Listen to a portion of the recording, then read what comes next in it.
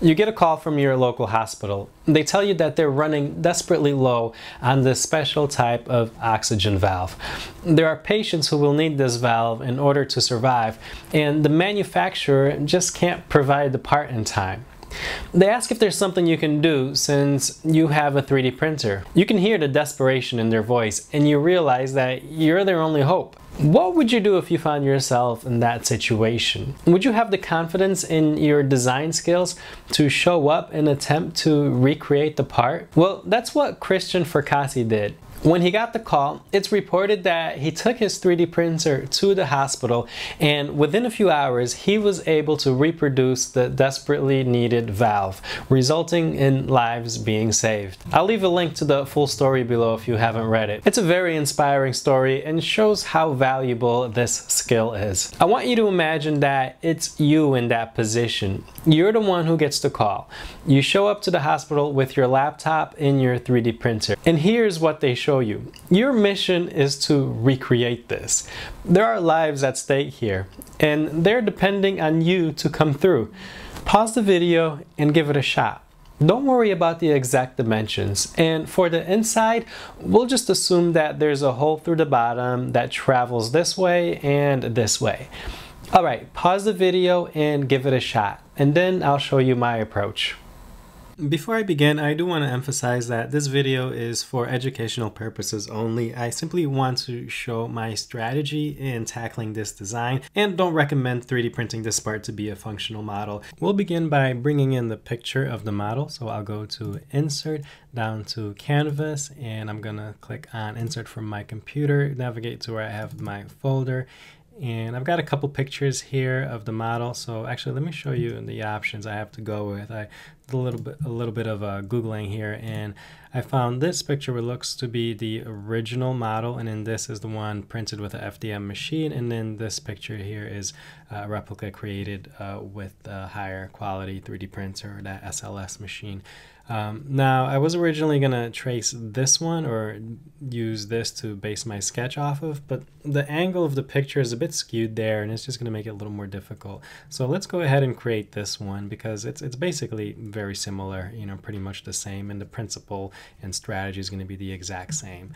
So, okay, we'll select that one and I'll choose my ZX plane. The only thing I'm doing here is bringing that opacity down a little bit. Let's go to a front view so we can see it better. I'll zoom in. The uh, one thing I'm going to do here is flip this horizontally. So I see it right here. I'm going to click OK.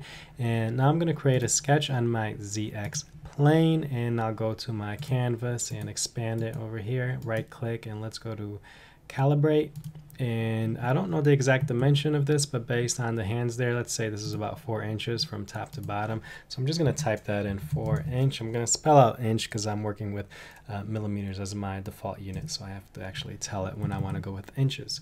Okay, now I'm gonna go back to that canvas and I'm gonna go to edit, right click and edit, and then I'm gonna move this to the middle here. Basically, I want it lined up so that this green line comes or goes right through the middle of it.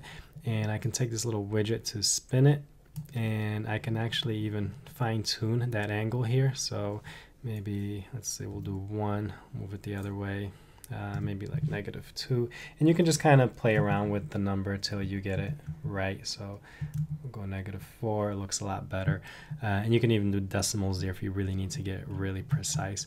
Okay I'm gonna center this now a little bit better and that looks to be good for what I need and I'll click OK all right, so the strategy here is uh, going to be to create a sketch and then use the revolve tool. Um, whenever you're working with anything that has a cylindrical shape, the revolve tool is going to be your best friend. And I'm going to approach this by basically taking it as two different models even though it is one model, the top does look like it is connected um, to the bottom part. So we have this sort of main body and then that little cap on there. I'm going to go in and create them as two separate bodies um, just because it's going to be a little bit easier to work with and then I'll go ahead and combine them. But the strategy is going to be the same. We'll basically uh, use the revolve tool and then I'll show you my approach to come back in and get this little hand here. Okay, so we'll begin by grabbing the line tool. So I'll hit L on my keyboard and I'm going to zoom the bottom here and just kind of trace this out. And again, I'm not worried so much about dimensions. I'm just going to kind of come in And then at this point, I can grab an arc or a spline tool to if I wanted it to be more curved, but I'm just gonna kind of go straight up here and then I'm gonna come out to do this sort of little lip here and then come across and then hit that check mark and zoom out. Now I want to connect that top line to the bottom here. So grab that line tool again and then connect them. I want to make sure that this line is completely vertical. I want it to be lined up with that origin there. So let's go ahead and grab that and grab our constraint up here, that horizontal slash vertical constraint. We see it right there. So, and then I'll go in and make sure all these other lines, the ones that I want to be um, vertical or horizontal, um, are set to that. So everything else looks fine. And I'm going to click on Finish Sketch. And now I'm going to take this and revolve it to create that uh, circular shape. So let's untoggle this canvas here and then I'm going to go down or up to create, down to revolve.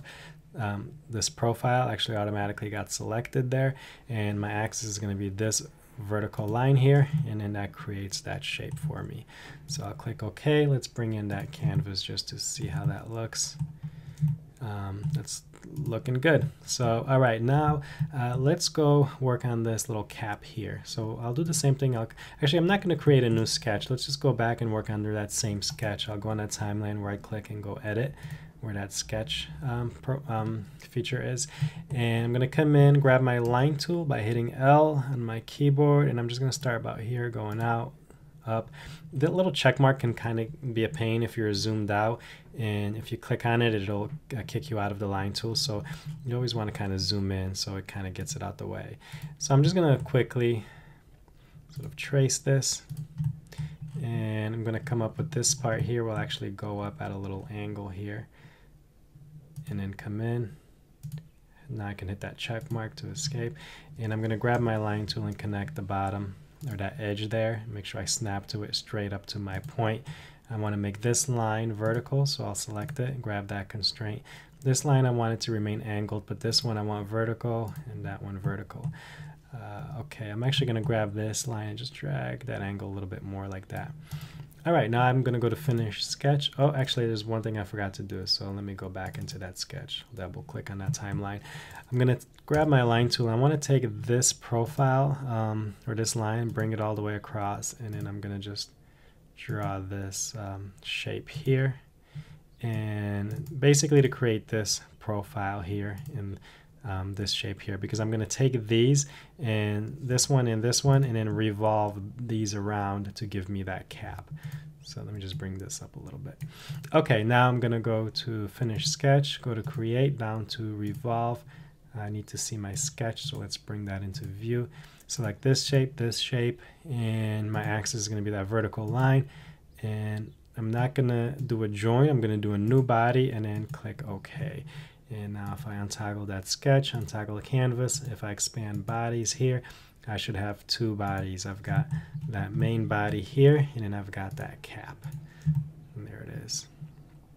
Okay, let's continue working on this cap. If I bring in that image, I can see that it's got like a little window in there um, that we need to, to be able actually to let the air out. Um, from what I've read with this device, it looks like the way it works, um, air will come through the bottom here, or the oxygen will come through the bottom, and then it mixes in um, with air. And depending, I think, on the opening of this, uh, determines the the right percentage of air. Now, don't quote me on this. This is just me doing a quick search. Uh, but basically, um, the different um, holes here uh, and the diameter of it determines that percentage of air that's getting mixed in to actually go out to the patient. Uh, but anyway, the point is it's going to need to be uh, uh, hollow in there with a window to let the air be able to flow.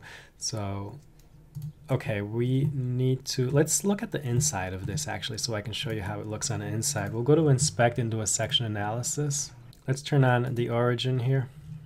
I'll select this uh, ZX plane here and click OK and now we can see how that inside of that looks. So this is the actual profile that we took to revolve to get us this shape so we can see it's actually hollow in the middle. Okay, let's untoggle that analysis and we're going to create a sketch. We'll do um, this new sketch on the same ZX plane. So I'll go to front view and select it and I'm going to hit P on my keyboard to project the shape of this body here. So we'll actually, um, actually, you know what? I'm just, yeah, let's select bodies, click this whole thing, click OK. It projects it. I'm going to now uh, untoggle a body so I just see that outline. L for line, I'm going to draw a line from this point to this point here. Uh, select that line, make it a construction line. Uh, the reason for that line is just to give me a line so I can actually center this rectangle I'm going to make next. So I'll grab my center rectangle. I'm going to find that little triangle. It's going to tell me that's the center of that line. And that's going to be my window there. I'm going to make it, let's say 8 by 12 and then hit enter, stop, sketch. Select that profile of that rectangle. Let's bring bodies back into view, E for extrude, and I'm gonna start dragging this out. Now for direction, I'm gonna change it one side to symmetric, and in distance, I'm gonna go to all, and that's gonna punch it right through. Operation is going to be cut. Just make sure you don't have the other body toggled, uh, the visibility on, otherwise it will cut through that as well. So we'll click OK, and now there's our piece. Uh, looks like the only other thing we need is a hole here so the air can go through. So let's create a sketch on that top surface there. And I don't know the diameter, but I'm just going to go with like, uh, let's see, 2 millimeter diameter. Looks good. Finish sketch. And E for extrude, let's select that profile, bring it straight down. Um, distance, we'll just go all. Um, operation is cut, and we'll click OK. And now I have my hole there goes through. Okay, that looks to be pretty good for that top part or little cap. Um, you know, maybe just come over here and give this a fillet, like a one millimeter fillet there. Click OK. And maybe something here as well. Let's go with one. Okay, so now we can work on the other body. So this is the main body here. Let's bring in that canvas. So we need that little arm over here, that raised arm. Let's create a sketch on that ZX plane there. And then I'm gonna just grab my line tool again and I'm just gonna come inside the body here and go straight out. So about that same distance. Um, you know, you can, if you were doing this for real, you would just, uh, you would want to set that angle there, but I'm just eyeballing it for now. And here's a neat approach here that I like using. I'm gonna um, grab my pipe tool. I'm gonna go to create down to pipe and then select that line and it's gonna create a pipe and you can give it whatever diameter you want. So six, uh, not 67, um, seven, maybe it's a little too big. Let's go down to 5, not 75. Um, yeah, 5 looks pretty good, so I'm to go with a join here. Click OK, and let's untoggle that canvas now. I can do a fillet here, do like a 1 millimeter fillet, to, so it's got a stronger attachment to the rest of that body. And now we can go ahead and do a um, shell on the bottom here because we need that opening. I can't really tell based on the picture uh, like what the size of the opening is on the bottom there, but I'm just going to assume it's pretty much uh, like a shell here on the bottom. So I'm going to go to modify down to shell, select that bottom face. Uh, we'll do like a two millimeter shell here. Click OK. It's a inside uh, or the direction is inside and there goes our shell. Now notice here, if I zoom in, actually because I, I have that little arm there and it's part of this model because I joined it, it actually goes ahead and shells that out as well. It does a two millimeter shell all around it. Now, I don't want that there because I'm actually going to go put a hole there and I want more control of the size of that hole. The neat thing with Fusion 360 is it's really easy to delete holes like this. You just select the surface and hit delete and it just deletes it. Um, and now I can actually go in and create a sketch on this surface here. And let's project that circle so we can actually get a center point there. I'll hit P for project. Um, I'll do sketch entities this time and then select that perimeter there, click OK, and now I can do C for circle and I can snap right to that center point. And I don't know, let's go to 2 millimeter on this one. We'll click OK, finish sketch, select that profile. Let's go to a front view here. I'll zoom out. Uh, E4 extrude, and I'm just going to take that and bring it straight to the middle there. Click OK. And now if I go back in, I have a hole that's, you know, the exact uh, diameter that I set it for. Uh, okay, that looks to be, you know, fine on the inside. And we've got our hole going the bottom here. We need a hole on the top here as well. So let's create a sketch here and C for circle. So two millimeters. We'll mm, keep it the same. Or maybe you'll want to go a little bit bigger on this one. Like I said, I don't know. We'll hit um, three, a little three millimeter hole there. Um, e for extrude, go all the way down. Distance, we'll go all. Click OK.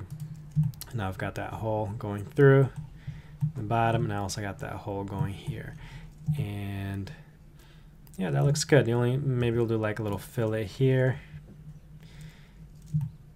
Click OK. Maybe a fillet on the bottom as well. And all right, let's bring that cap into view. Now let's bring our image here. So, oops. Okay, so it looks like we have, we see it on here and on this one as well, that these, these little, um, these little ribs here uh, to help the tubing um, to be able to stick in and not be not pull out. Um, so let's uh, let's put those in and I'll show you another neat approach here that you can take to do that. So um, what I'm going to do is create a sketch on that, uh, we'll do that ZX plane again. And I'm just going to draw a couple lines here. We'll go one and two. Um, doesn't matter actually how, you know, where they are, how wide they are, but kind of, we'll put them right here. And L for line again. We'll draw another one here and another one here. Um, you can see I got that parallel constraint. I do want them to be um, parallel. Um, actually, I want it to be parallel to this edge here. So let me grab my parallel constraint and select this. Uh, I need to project this line here. Okay, now I can grab my parallel constraint, select this line and this line, and they're parallel. Now I'll draw another line here and then I'll make this line also parallel to this line. Okay, now you know you can go back and set those spacing. Let's just take a look at that picture one more time. Yeah, that looks about right. Okay, so now that I have that line, I'm going to go to Finish Sketch, and then I'm going to go to Modify, and then down to Split Face. This will be my face and my splitting tool will be this line. Click OK. Right click, we'll go up to repeat split face. I need that sketch back into view. Uh, this is my face and this is my splitting tool. Okay. And we'll do the same thing here. Repeat um, split face. Select that and one more time. Okay, so now let's get rid of that sketch. And you can see that I have these uh, lines here that go all around because like, it split that face and left a little ring there. Um, it's basically, it, it's, you know, it doesn't have any depth to it or anything. It's just, it's just a split. Um, so now what I can do is I can go to create and down to my pipe tool again and I'll select it and I will give it a millimeter or a diameter of let's say one millimeter uh, or section size here in this case it's called. Um, that looks a little too thick, so let's go to 0.5.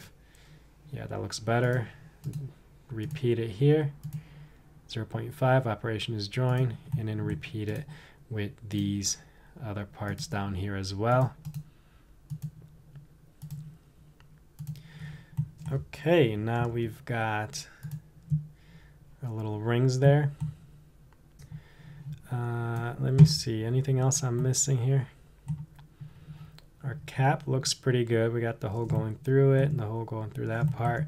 And the bottom, which I'm, I'm guessing must be hollow like that. Um, but all right, I think I think that looks pretty good. If you see anything I missed, leave it in the comments below from basically what I have to go with with the with the models here. Uh, only thing I would do um, in addition actually would I'll put a chamfer over here. Usually, you know, it's, it's a good principle if you want to like insert tubing there. You can make it a little bit easier for tubing to go in. I'll put a 0.5 millimeter chamfer there. Um, you know, the don't think we need it on the top, but let's do it anyway. Let's see if I can fit a 0.5. Okay, looks good. All right, let's bring in that canvas into view. I think we're looking pretty good. You know, if I wanted this to go wider again, I could, you know, this sort of comb, I could go back to that sketch and actually kind of playing with fire here because I don't have any constraints, but let's make that a little bit wider. Stop sketch. Yeah, worked out. Okay. All right, there goes our model. So uh, if you have any questions on, on my approach here, just leave it in the comments below. Uh, I know I went pretty quick, but these are just kind of meant to be, let me show you my approach type of videos and not, um, you know, let's go slow step by step. All right, if you have any questions on my approach, leave it in the comments below. And if you're new to Fusion 360 or you're a struggling beginner, um, check out my Fusion 360 Quick Start Guide. I'll leave it in the description below. All right, stay safe out there.